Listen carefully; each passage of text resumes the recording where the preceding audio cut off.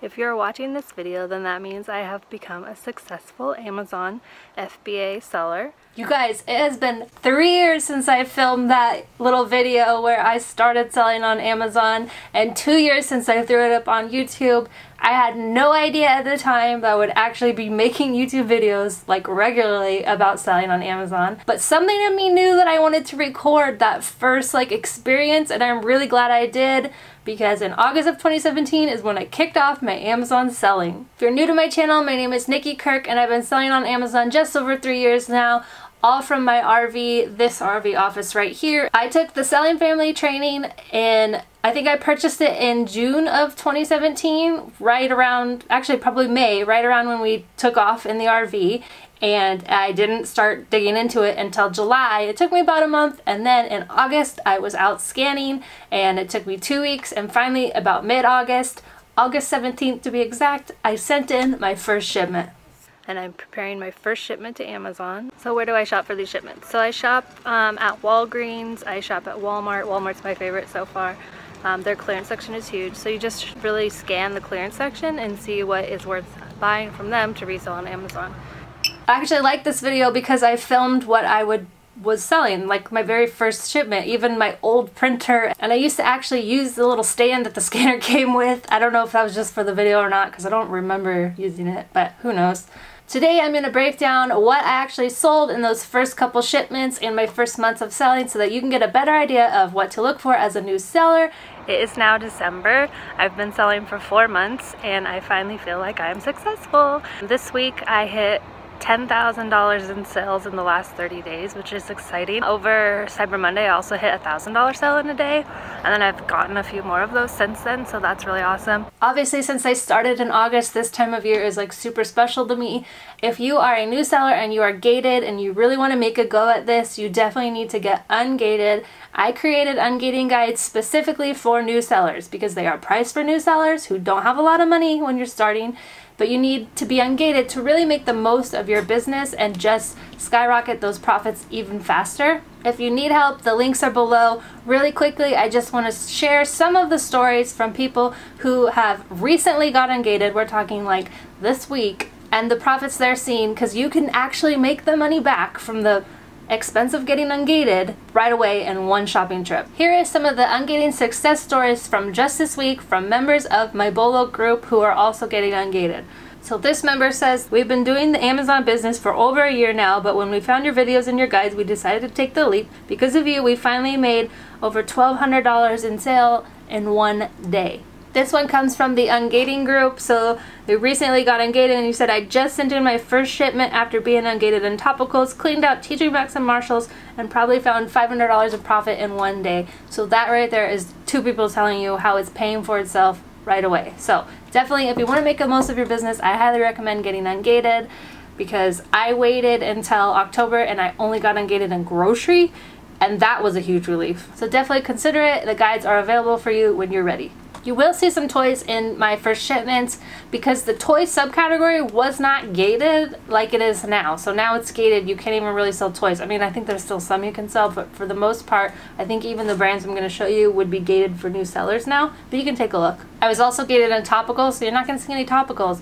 What you're going to see is a lot of random stuff, which actually it still is random today, but it was pretty random back then here is my very first shipments. The first one was created, like I said, on August 17th of 2017. And it looks like I split it up into three. It was only 25 items total, so it was a small shipment. Normally for new sellers, I'm always recommending at least waiting for 20 items. And you'll see here in a little bit, like, it doesn't have to be a lot, but it needs to be enough that you're not paying a whole lot in shipping and to where it's eating up all your profits. You guys, I was so excited I made this cute little Excel spreadsheet of what I actually sold which is funny. I've never made this since, but I had found it on my computer. It is my first shipment ever. I don't actually know if this is something that Amazon like put out or if I made it myself.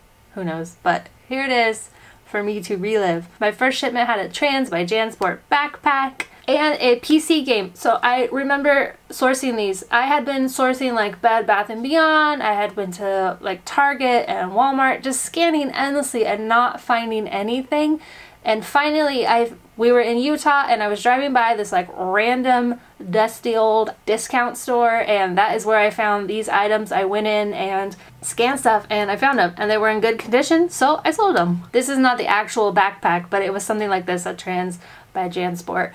And I think those are the brand that's sold at Target, but this was at an outlet store. This is the PC game. I mean, who even knew they made PC games?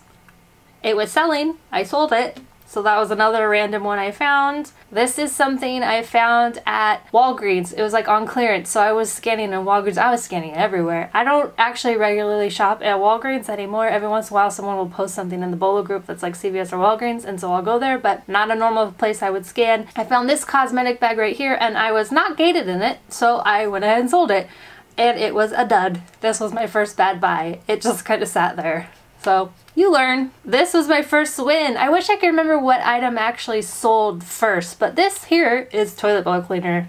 Yep, toilet bowl cleaner. So that was another item I sent in. I think it it says here it's in health and household, but I'm pretty sure it was office supplies at the time. Now this was my big money maker. So what happened was I found this at Walmart. Uh, oh, I also found the toilet bowl cleaner at Walmart during the clearance aisle. So this it was a brand new item in 2017 and for whatever reason that Walmart did not want to put it they didn't want to make room in their normal like foot care aisle. So that store just like clearanced it out I think it was three dollars and threw it in the clearance aisle. I'm scanning clearance so I stumbled upon it and it was I think they were going for $15 and they were costing $3 so that was my big win I think in my first shipment I sent in, let's take a look, six of them all together. That must have been, I only found six at the store. So I sent in six and they sold right away. So now I went to every Walmart looking for them. I actually looked in the clearance aisle and then I realized that this was in the regular aisle. So then I would go to all the different, I remember going all over, I think it was Cleveland, Ohio, just grabbing them all. I would literally go to Walmart, stop, go to the aisle, grab them off the shelf, get in the car, go right to the other Walmart, just clearing the shelves of Walmart. Sometimes that's what you have to do when you find a winner and you're new. You got to take advantage of that and really keep it going. So you'll see as I continue on through my shipments, you'll see odor eater in there a lot and like in a lot of quantity. Another item I found was this My Life as Doll. That's Walmart's version. Uh, Target also has Our Generation. As a new seller, I'm pretty sure you can sell these doll lines. So definitely get out there and scan because some of them make a lot of money. It's hard because there's a lot of them and they don't always show up. So you got to scan like using the front of your phone instead of the UPC. Scan it like you're taking a photo and they'll usually come up. You may even have to search it either on Amazon.com or in the seller app. Here's a tip. Sometimes when you're searching in the seller app and the name comes up like autofill, it won't pull up in the seller app, but it auto-filled, so I'm like, something's weird there. Just head to Amazon.com and search for it there, pull the ASIN there, and then go back to your seller app and you'll find it. It's really annoying, but that's a way to get around it. So sometimes you have to search typing for the items, especially these like store brand items. So that was my very first shipment. Already, I mean, I know now that they were dead. Some of them were dead, mostly those Wonder Woman cosmetic pouches. At the time I was super excited to have something to send in and it was a good learning experience. What's crazy to me is the new sellers in my Bolo group are doing so much better than I did when I started. Like crazy better. And I think they kind of could tell and I've been trying to tell them like you're doing like really good. Keep it up because I wish I had done that great when I started. Actually right now this year has been a crazy year. I'm sure you're aware but as an Amazon seller, it's been like Q4 pretty much all year round. There was some little weirdness in April and May when we didn't know what we were doing and everything was locked down. But since everything's kind of opened back up again, it has been like Christmas year round and Amazon sales are going crazy, which is probably why a lot of the new sellers are doing so great right out the gate. So here we have my second shipment was on August 21st. It was 8 SKUs and 26 items all together. I wish I could remember actually where I sourced these. I can remember the like store. I remember buying this book is really weird. Like it was in this bin. I don't remember where it was, but it was definitely a random mom and pop store. If you're having trouble and you're not able to find anything, I highly recommend going to look for these little one-off, like not a chain store, discount stores. They're a little harder to find and you gotta use Google Maps and sometimes you just gotta look around when you're driving. you might see some of these stores. If you see something that is brand new in packaging to the point where you can give this item as a gift, then you can sell it on Amazon. Also, if it's in your area, make friends with the manager because maybe, or the store or no, maybe they'll let you know when they get something cool in or if you say you're looking for a type of thing or maybe they'll even give you a deal. So definitely utilize everything you can to make the most profit and make your business run as easy as possible. So from this shipment, I actually remember some of these are from Big Lots. So this, I feel like this shilling, I can't even say it, is from Tuesday morning. But this iHome mouse, that was from Big Lots. This cam caddy, that's actually something that was just at the house that was brand new. And so we just sent it in because it was, it would make a lot of money. And sad news, someone returned it and we got it back. So it didn't work out. But if you have something at your house that's brand new and you're not using it, scan it. Maybe you could sell it. We see here I have six more odor eaters and then this veggie pasta deluxe. I got this from Big Lots. I think it was $10 and it just tanked. I don't even think, I think I ended up losing money on this one. And this is my second shipment. So you guys, you gotta learn somehow. You might as well learn in the beginning and sometimes you gotta take the hits. I will say that it took a long time to sell, so I didn't lose the money right away. This is a variation of it. I didn't sell this one because I wouldn't sell it if it had the as seen on TV on the label, but it was a variation of this and I was getting it from Sally's Beauty Supply. So that's another random area store you might want to check out. So now my next shipment was kind of a big one. So we have here August 23rd. It, it looks like it ended up going into four different shipments, 38 units all together. And actually it looks like I sent in a shipment the 23rd, 24th, 29th, and 30th. So I don't know why I was sending them in so frequently. I would actually recommend to just wait and pack everything all in one, but maybe I was just super excited and wanted to send it in. I can't remember. So as I was pulling all my shipments up, I can tell you that almost everything here is Walmart clearance aisle. Like I still remember all these swimways. This was a, a power tool, like a battery for a power tool. All of these were Walmart clearance aisle. So that was my best friend and I was there all the time. Some are better than others, I will say. Some kind of suck, but some have a lot of good stuff. And you got to scan everything. Here's another one. This was a Disney uh, fishing rod for kids, like the whole set that it comes with. And again, we've got the odor eaters. So here I had 17 on this one and 12 on this one. Now this is an interesting one. I think I was starting to source Toys R Us. Remember Toys R Us? At this point, so the Ozark Trails, those are just Walmart's brand of water bottle. They were in the clearance aisle, or not water bottle, coffee mug. They were in the clearance aisle. They were similar to this. They were different colors. Even though if you're scanning Walmart, it's Walmart branded, generally it might not be there, but it might. And in this instance, I was selling a lot of these. And then another item was Chubby Puppies. It was these little sets. I don't know if they sell them anymore. I haven't seen them in stores, but they had little sets. They were at Target, Toys R Us, Walmart. I think that Spin Master, who is who makes this, I think that one was ungated at the time. I'm not sure if it's gated for you right now, but it's worth a shot of looking at.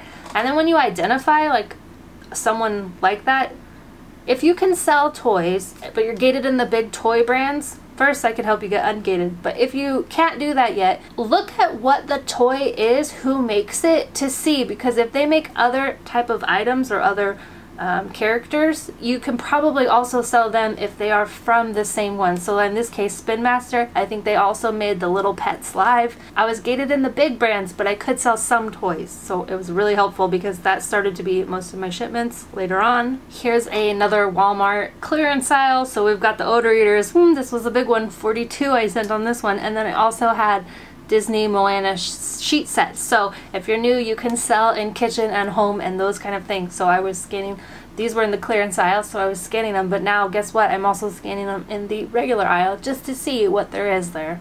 Uh, another Walmart clearance aisle, fine. So we've got my odor eaters, 33 on this one. But then I was also selling baseballs. It was like a set of baseballs end of season towards, it was probably September by this point. So it was like a set of 12 balls was just in a bag and they were making money. I scanned them and sent them. So this shipment I wanted to share with you because again it's another random, we're talking in the middle of nowhere country outside of Lexington in North Carolina. I remember it, we went back there this year or late last year, I can't remember when we were there. We were there recently and I went back to the store because it was a really good moneymaker, especially for me as a new seller. So I got a book there. I don't even know what this is. Some kind of tape. Apparently I was selling tape. I got a chainsaw. Replace like a saw, like the chain for the chainsaw. You guys scan everything. Just because you wouldn't buy it and you don't need it doesn't mean other people don't. This Oogie plated cocktail shaker, that was from there. All of these were from there. Another battery. So when I find things that I can sell, like I scanned all the different foot like insoles when I found the odor eaters. When I found the battery pack at Walmart, now I'm scanning all battery packs and power tools. And that's what you have to do. If you see something that you can sell, scan in that category, scan wider, scan everything. Because if you can sell that, it's highly likely that you'll be able to sell other things in that same category and genre. Okay, so this is from a November shipment. At this point, I am now ungated in grocery. Here is an example of this one. I remember getting these Burt's Bees. These are the first clothing item that I sold and then I realized, wow, like baby kids clothes is a good money maker and also you can sell that if you're gated and everything. So definitely check out clothes. So I got this, I think it's called Bargain Hunt, and Bargain Hunt is interesting store. It is kind of hard. It's mostly stuff from like Target, but they'll like slash through the UPCs, but every once in a while you can find some good things there. You just got to make sure they are in new condition. So I have a shower curtain. I got that from Big Lots. We got holiday pops. We've got some tablecloths, some Ghirardelli, Orchard Valley Harvest packs, more Chubby Bunnies, Toblerone, Peppa Pig. So these I feel like I'm getting at Ross. And some more My Life As, the doll. So you can see that most of the stuff that I was selling before, I'm following that theme and I'm scanning that same item and I'm just continuing on that path, scanning other things to see where it takes me, but I'm still looking for the things that I know that I can sell and that do sell. Now you don't see any odor eaters anymore because the price started to go down. Someone else realized it was a good buy and suddenly the race to the bottom started. It happens, but man, I was selling them like crazy while I could. I still vividly remember the day that I hit a thousand dollars of sales in one day, and that was Cyber Monday. And it was such an exciting day because I was like, yes, I'm gonna have more of these days more often, and I'm gonna have thousand dollar days like all the time. And it's been so much fun selling on Amazon. It is a wild ride and I really encourage you to jump in and if you've been thinking about doing it, just do it because it is a lot of fun and this year is the perfect time to start selling. I highly recommend getting ungated, but if you cannot afford to get ungated, then please do not focus on the stuff you're gated in. If you can't sell toys, don't scan toys because you'll find other areas if you're open to looking for them, like tools or random clearance aisle stuff. You can't focus on what you can't sell or you're going to miss all the other stuff that you can sell because believe me, there is a lot of stuff out there as a new seller that you can sell. Very quickly, I'm just going to read through a list that the Bolo Group has put together of all the different items that new sellers can scan. So we've got clothing, sporting goods, books, home good, kitchen item, cutlery, dishes, dish drying towels, frying pans, spatulas, clothing, socks, bras, baby clothes, Carter's brand, water bottles, food storage bags, pet supplies, party supplies, sporting goods, puzzles, arts and crafts, home storage, office supplies, pet supplies, sporting goods, crafts, kitchens, and we're getting into the same stuff. So those are just some of the categories that I would recommend scanning as a new seller. Again, don't focus on what you can't sell because then that's all you're to look at. Focus on the stuff that you can sell. Go out there, scan everything, keep scanning, get ungated if you can. If you want to join the Bolo group and have other sellers, helping you like this listed, then definitely consider joining that. All my links are below and thank you guys so much for watching. If you're a new seller, I highly recommend just jumping in if you can because I don't think you'll regret it. It is a lot of fun and this time of year is the best time to start selling so definitely get at it. I said I was gonna wait until I was successful to finish this vlog and I feel like I am so this vlog should be out pretty soon. Mm.